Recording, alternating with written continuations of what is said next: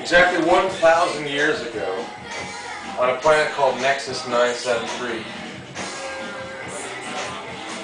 I was born under the sign of the mystic River King. I'd never been back. I've been cursed on this planet. And then I came upon this photograph.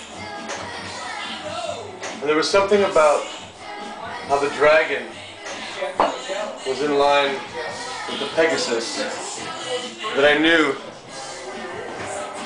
that I had a connection for me. And I showed it to my mother, who's not technically my mother, but my earth mother. And she was wearing this amulet on that very day.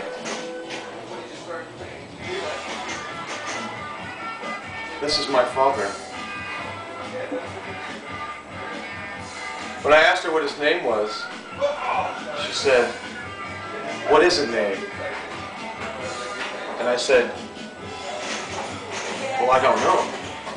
And she said, No, that's his name. This is, what is a name? Your father.